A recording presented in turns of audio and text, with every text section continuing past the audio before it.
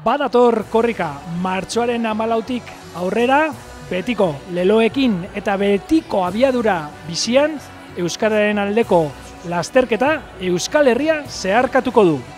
Euskararen aldeko lasterketa betiko giro paregabean betiko leku zoragarriak bizitatuko ditu. Betiko lekukoa betiko mezu unkigarriekin, betiko irudi magikoak eta horrengo egunean betiko agujetak eta betiko ajea.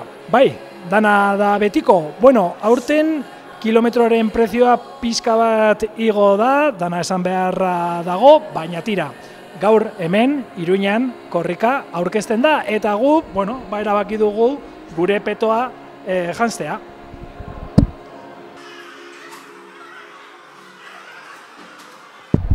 Bi, Animo!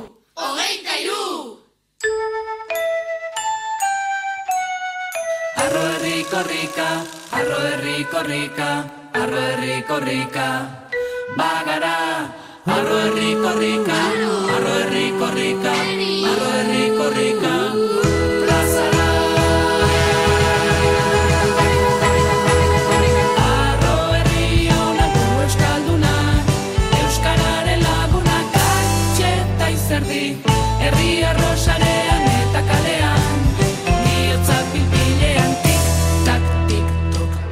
Arro herri arr da korrikaren abestiaren izena eta guri bereziki gustatu zaigu azken estrofa. Hola esaten du, ez badigute ematen arrazoi guri, zu emango diogu haien legeari. Ez dakit egi, e, abestiaren egilea zertan ari zen pentsatzen, ni uste dut, igual azken aldi honetan justiziaz, igual horretaz ari zen pentsatzen. Bai hori da, askotan pentsatzen dugu ez, e, legeak arrazoi osoa duela eta justiziaskoa dela.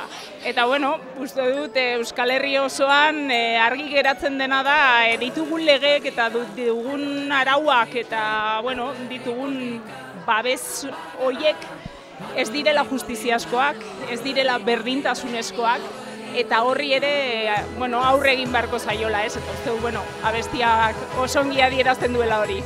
Eta korrikaren irudiek ere ikusten ditugunean irudi horiek oso argi hitz egiten dute zer nahi duen herri honek, ez?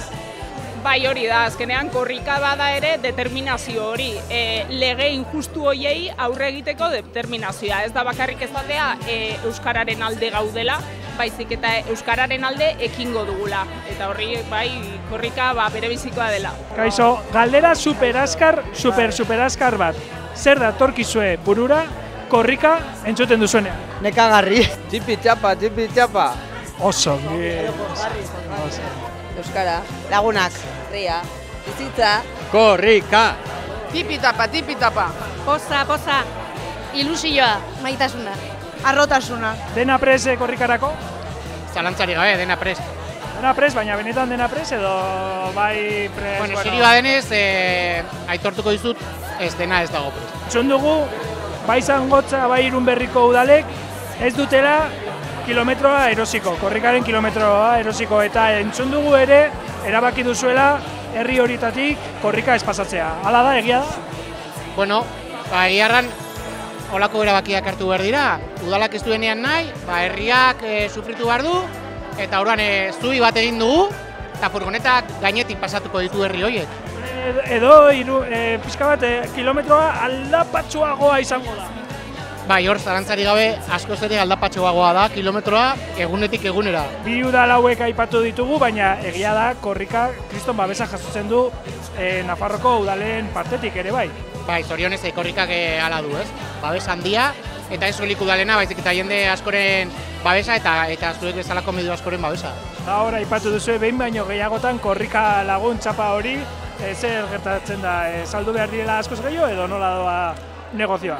Mo, saldu behar dira pila bat, eta gaur hasi gara, eta gaur egin dugu propaganda horren inguruan, eta hori egin behar duena jende, eh, jendeak egin behar du hori pina eskuratu. Ikusten duzu ez, ni petoa ekarri dut pixka bat ja... Peto, peto. Peto petoa etorri naiz. Aurtengo abestiari buruz, badakit beti gauza bera galdetzen dugu, beti sartzen garela abestiekin, baina aurtengo abestiak arazo ederrak ematen ari dela esan digute. Gustoa gusto, baina seguro korrika ginen dugula. Arro herri korrika, arro herri korrika nik herriarekin ez dut arazorik, bertze bat omateik baldin badu, abestu dezala berak dakien moduan eta seguro korrika egiteko balio duela. Eta gero ja bukaera incendiario hori horrek igual arazoak sortzen ditu ere. Bueno, norberak irakur dezala nahi duena. Bueno, aizu, disfrutatu asko korrikarekin, lan asko izango duzue, baina disfrutatzeko momentuak ere bai. Bai, bueno, orain momentu honetan disfrutatzen ari gara eta korrikak ematen ditue gozatzeko aukera asko bai. Zer da korrikaz gehien gustatzen zaizuena? Bat bi hiru erantzun. Giroa. Ordu txikitan kalera atera, korrika egitera ateratzea.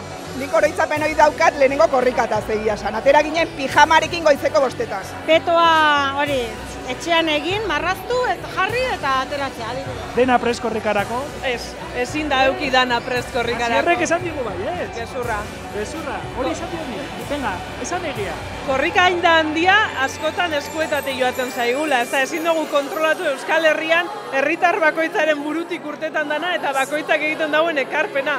Orduan gu gure esatia prest egoten saiatuko gara malaurako azkenengo gauzak lotzen gabiz, baina horretan gabiz oraindik. Guk ere lekukoaren barruan mesua sartzen dugu eta aurrera korrika. Zer Zer egin duzuela? Mesua sartu lekukoaren barruan, Bueno, bueno, bueno, hau berrikuntza.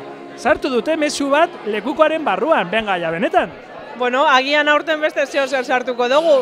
Bada espada baionara joan eta ikusi zer gertatzen dan. Azkenaldi honetan Euskararen inguruko hainbat albiste ezagutu ditugu, guztiak ez dira batere samurrak izan. E, aste honetan bertan entzun dugu e, bueno, ba, e, zera, e, usa- osasun bidean euskara meritu bezala eskatzea ja gehiegizkoa dela. Ez dakit korrikak baduen boterea horrelako botere magikoren bat horrelako egoerei e, buelta emateko.